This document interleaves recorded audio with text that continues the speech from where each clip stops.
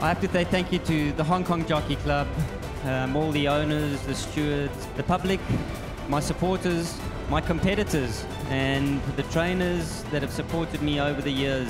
Without you and without all your support, I wouldn't be standing here today. So, to all of you, thank you very much.